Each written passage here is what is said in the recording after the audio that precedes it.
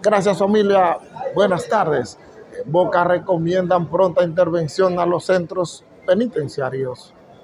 Abogados confían en que las autoridades darán el seguimiento necesario para que las cárceles puedan asumir el rol que le corresponde.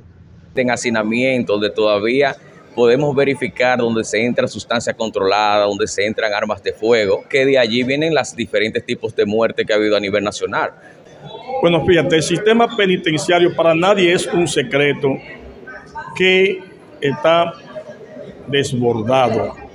eso prácticamente está en un sistema, digamos, eh, muy, muy delicado. En este. Esa es la información que manejo hasta el momento. Ahora pasamos con nuestro compañero Félix Balbuena a Puerto Plata.